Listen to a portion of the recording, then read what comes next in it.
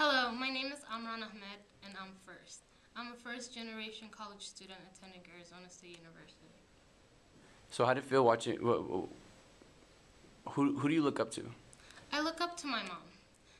She's just an inspiration. I growing up, I watched her work odd jobs, coming home at three in the morning, five in the morning, just to support us, to make sure that we had food on the table every night.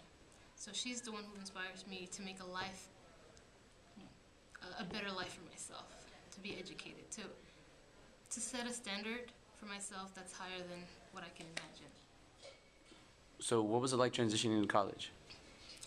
It's pretty So rephrase the question. Transitioning to college was transferring transitioning. transitioning to college was difficult, but then Arizona State University provides us with so many opportunities. They are so hands-on, making sure that we succeed. They they work with you. They in the high school that I came with was just did a phenomenal job making sure that I had every opportunity that I can look for. Financially, they helped me look for scholarships, anything that I needed and more. They they were there to assist me, but you know, college is difficult, but you can do it. Anyone can do it. If I can do it, anyone can do it. Yeah, you could. Um, so how how did you do it? Like what? Your mom was an inspiration. Mm-hmm. The transition was challenging. Mm-hmm. How do you survive? How, how I'm sorry. How do you succeed? How do you excel?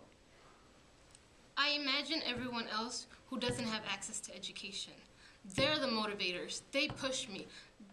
Just imagining a life without education or an access to education just drives me to to take advantage of every opportunity that's available to me. It's just I wake up every morning and I'm thankful that I have this opportunity. The fact that I can have access to school just makes it that much more amazing. And I think that's the thing that inspires me the most, just to keep working hard. Just education is the key to, to everything, to succeed in life. And so having that accessibility just makes it that more much uh, motivating, I guess you would say.